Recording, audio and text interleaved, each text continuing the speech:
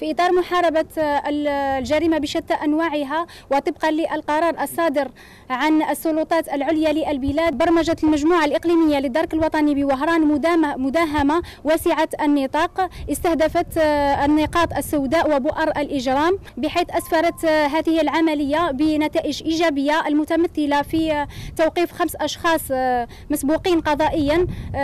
محل أوامر عدلية وكما تم حجز 60 قرص مهلوة وساوس من نوع كتيل بالإضافة إلى حجز دراجة نارية وسيارة آه، سياحية من نوع شيفرولي مبحوث عنها فور الانتهاء من التحقيق سيتم تقديم الأطراف إلى الجهات القضائية آه، المختصة ويبقى الرقم الأخضر 1055 تحت تصرف المواطنين للتبليغ عن مثل هذه العصابات